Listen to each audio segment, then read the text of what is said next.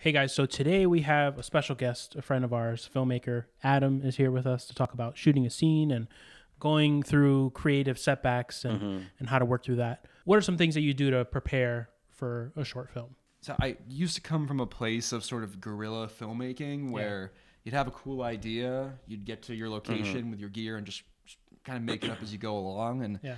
I- I did love a lot of the stuff I made back then, but these days it's you know the the full it's the work, it's the pre-production work, uh, having at the very least a script you're starting from. Yeah. Uh, I don't always do storyboards because I kind of suck at drawing, um, but I'll do at least a shot list with like a general gist of what I want to get Yeah. and mainly I do that for the purposes of not only uh, knowing what I want to shoot when I get there, but how to maximize the use of time. Uh, Right. That's the the biggest thing, really. Because timing is usually, I mean, is always important. Um, but, you know, we have some experience doing like 48s and competitions and things like that. So it's like focusing on what's important, what's not important, and usually going into a project where, you know, let's say you have six pages for a short and like what can I cut, what can I keep, and kind Absolutely. of what's important. So um, obviously, along with the preparation and, and and having a script or figuring out your crew members and seeing what we're gonna do location wise, what are a couple things that like help you decide what to keep and what not to keep? For me, I kind of consider myself to be a storyteller first and foremost. Mm-hmm. So everything to me comes down to what's going to tell the best story or get our story across best. Yeah, So um, yeah, I'll, I'll take a look at our script, and when I do the, the kind of the script breakdown, the shot lists, I'll sometimes even diagram out the set. Like I'll just do like a top down view, and I'll kind of see, okay, so I know for this I'm gonna need two microphones. I can input two microphones into my camera, so I don't necessarily need a separate sound guy. Or I know I'm gonna need three microphones, therefore I need a separate audio recorder and a person to manage it, another person to hold a boom pole. Uh, I'll kind of plan out with what gear I know I have access to on the day, how many people I need to record, and I'll kind of make like a to-do list for how many crew members, what equipment I need, and it's um it's a good way to keep an eye on not only what do I need to bring with me, but what do I have to worry about in any given moment. Because if I'm directing, but then also worrying about the lights myself, or if I'm directing or um, sorry, let's say if I'm shooting and also managing audio levels, I know that I need to find other people to manage other things because I can only focus on so much before Yeah. I'm not an effective director anymore. right. A quick question here is like if you had a choice and there was a budget, like what role would you say this is the one I'm going to choose, and let me let let everybody else to focus on other things? Um, the rare times I'm working on a shoot where I have a full crew and I'm Yeah. just directing, for example, I I'm I primarily consider myself an editor and director. They're probably like my two strongest skill sets. I'm I have a great interest in lighting, a great interest in shooting. I, I love doing those things, and I'll gladly step in on it. But if I try to do it all, I I, I don't do anything really well. yeah, So if I have a full crew, I love to focus on just directing. And um, I mean, the first time I actually had that opportunity where I could focus on one thing, I was standing there while I had a crew of 20 running around, setting up lights and craft services and this, that, and the other thing. And I'm just sitting there like, what do I do? Like it's, Yeah. it, was, it was so awkward to just like not have a direct responsibility until Right, it was right. ready to roll cameras. And, and then on the other hand, I have had other shoots where I'm worrying about so much at once that I go to call action and an actor goes, what, am- what am I supposed to be doing? And I go, oh, I knew I was forgetting something. Oh, something. that was my Okay. job yeah, too, yeah. You didn't, we didn't tell you what was going to happen. Yeah, yeah, at about action. that. Um, Um, but talking about so transitioning from that, so shooting, I want to go like the individual scene. You got anything good to go? Um, what do you find is like one thing people don't focus on enough when shooting an individual scene, whether on purpose or not? What do you think they fail to focus on that actually rises? While on set, I think that audio is something that's often hmm. kind of has a lower priority put on it. Just in feedback from my own earlier work and just a lot of other professionals I see out there, a lot of people will tell you that even if you can't make your video look good, at the very least make it sound good. Because a video that doesn't sound good doesn't come across as professional. Even if you're not shooting in 4K or you don't have a gimbal or uh, you know whatever else. Right. If you- you can clean a lot up, you know, when you're editing with color correction and all that. But audio, there's probably the least amount you can do to fix audio afterwards Right. versus a lot of other things. So always make sure you're um, you know you're dedicating the patience and the time to record good audio, whether it's yourself or with a separate Right. audio engineer on, on set. Lighting is probably second thing to that because I think a lot of people will go, okay, I have an iPhone, I have a, an actor, we're gonna shoot a thing, but having just a little bit of lighting. I mean, even what you guys have set up here is great. Yeah. Um, a little bit of lighting can set you apart to make you look so much more professional. Yeah, I mean, I think it, there's a difference. You know, w- w- lighting. What we do with lighting is okay. You want to show enough information, right? You also want to, like you said, separate yourself from just the basic. You set up a camera and Mhm. kept going, um, but also to give you the feel and like the texture of the scene. So we can, Mm-hmm. you know, for example, shoot through a grate and like there's a design on the wall and the, you know that Yeah. wasn't there originally, or, um, you know, anything. We've you know shoot through blinds and make like a you know a 50s cop scene or you just have you know blinds through there or whatever but lighting is is very important audio is very important like you said um And if I can actually take a note off what Sure. you just said about adding like a texture to the scene, Yeah. um, that's another thing when you're trying to like kind of set yourself apart. There's a lot of things you can do with just the mood of a shot. Again, with even if you don't bring any lights with you, I, I did um, one shoot that was supposed to be like a, a tense clandestine meeting in like a parking garage, mm-hmm. and we knew one thing we wanted to to kind of add to that tension was we never wanted any one actor to have their face completely lit in any given time. They were always going to be a half shrouded in shadow. Yeah. Because that adds like the the mood and the texture of the scene.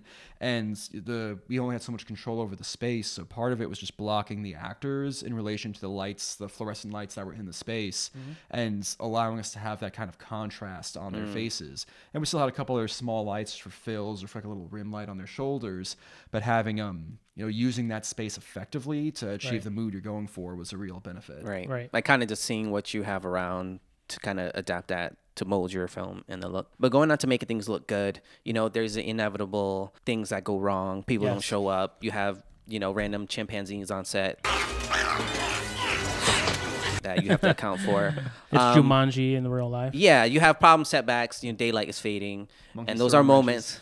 yeah, those are moments where it make you go, "Fuck," because you have to deal with it. Yes. So we have a Christian. so Viviana. introducing our new segment Mm-hmm. on our channel We have the bucket. Oh fucks. yes here it is the lovely bucket, as you see, hopefully it's can made see with the, love. yes Um, but we have a couple options in there, and we're gonna pick two random that um things that make you go fuck. And how would you adapt to that, Adam? So, so you have you have the power here in this in this short film you're in a in a short film you're directing maybe even producing the project and these things are happening to you and it's your job to figure out how to move forward how to get this done in, in the time that you have I'll, I'll pick my own poison literally have a jingle.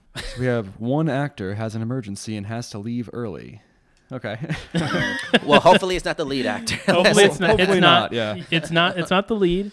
But for example, if you have a, a two a two person scene or a Mm. three person scene, but one of the one of the actors needs to head out. You know, maybe not at this moment, but you have thirty minutes, forty five minutes left Okay. with them. All right, so let's say we'll take a semi-real example. We'll set up this this uh, scenario here. We're shooting a, a two-person dialogue scene. We're gonna go very basic. We're gonna do a wide shot of both people talking to each other. We'll do uh, two over the shoulders uh, from each perspective. If I know that character A I have all day, character B has to leave in 45 minutes or an hour, I'm gonna use my shot list and my scheduling to basically say, okay, we're gonna get the wide shot first because that's a shot where I know I need both mm-hmm. actors simultaneously right.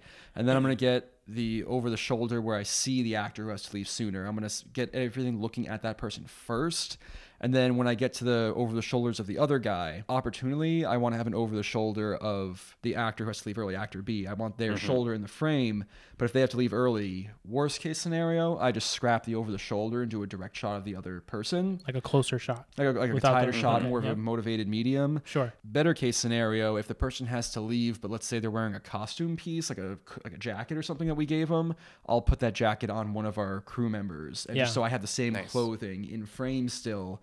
And as long as you don't see the hair, like they're not like you know like white guy, black guy kind of Yeah, thing. yeah. like, normally speaking, you can get away with it in most cases. It Right, works right. pretty well. Boom, saw. Good solution. See, there you go. He knows what he's doing here. Second one. An- One another more. fuck. Okay. Yeah. Another fuck. Location has customers and they can only block for a few minutes at a time. Okay, fuck. Okay. okay, so we're, we're shooting in So, a bar. Okay. Yeah, shooting in a bar, grocery store, whatever. You know, you have that scene. It's a part of your schedule. You have ten people with you, Mm-hmm. and you show up and they say, "Well, I, you know, I did say that we were going to give you a spot, but Okay, so mm-hmm. like we can like, like we can block aisle 11, but only for 10 minutes or something like Sure. that. So I could generally again I'll look back to my script, my shot list, and I'll say, okay, I know to get these. Let's say I have six shots I want to get in that aisle. I'll take a look and I'll basically see, okay, for, from a storytelling perspective. Can I tell this the story of this scene in two shots versus six? Is, is that an option? Yeah. Or if I'm shooting 4K, a lot of cases we'll shoot 4K, but we deliver in 1080 and just in high def. Then we can do a trick called punch-ins. Uh, basically, if you're shooting in 4K but presenting your video in high def, Sure. you can zoom in up to two times on that video and not lose any quality in theory. So I'll go in and say, okay, if I want a medium and a close-up of each person, I can shoot in 4K in the medium. And then later on in editing, I can punch into a, a close up as mm-hmm. well. Right. So I can shoot two shots and use it as four shots if I want. Right. So I'll, I'll use tricks like that to kind of limit how many shots I need to get in the space, and then I'll also try to figure out ways to maximize that effort by punch-ins or whatever other tricks I can pull out, uh, out from under my sleeve. I think you saved yourself in both scenarios. nice. A successful filmmaker here Two oh, um, okay. always has to have these solutions in their brain just in case these things What's happen. the Bear Grylls things? Overcome, adapt, whatever that is. Overcome, adapt. Um, I, I don't know. Along with that, we wanted to have you on here and you wanted to discuss creative solutions, things like that, because you are having an event soon. Yes. uh, on short filmmaking, and I don't want to ruin that description. So go ahead and let us know of what that event is going to be. I I appreciate it. Um, so I'm giving a, uh sort of a tech talk in Norwalk, Connecticut on February 19th. Uh, it's part of an event series called Norwalk I/O. Um, those are hosted by a company I work for called Datto. And uh, basically every month there's something different. Uh, someone might talk about hacking, or someone talked about ham radio one time. Uh, back in April, I did a course called uh, 20 Years of Digital Video in Two Hours or Less. And I'm doing another one next month on uh, how to shoot a short film. And this is going to be about an hour and a half focusing on all the things you need to think about to shoot a short scene. We'll basically let attendees come and actually pick some roles. So two people can be actors. We'll have a couple people on sound, a couple people on light, a couple people on lighting, and I'll walk everyone through how to safely use the gear. And we'll shoot like a one to two person scene. And um, in the future, if we people enjoy it and want to do a follow up session, we'll take that footage and do like a, a workshop where I show people how to edit that scene that we shot in the prior Nice. one. So it, it's it's kind of like a, a quick crash course for people at different levels. Mm-hmm. They are mm-hmm. able to choose different jobs in the production, and you kind of show them a quick way to how to get a project or at least a scene for a project completed. Yeah, and my real goal is to have it accessible. So if you're new off the street, never done this before, we'll Right. speak in terms that you can understand. Right. If you've got experience, want to get better, we'll have some tips and tricks for you.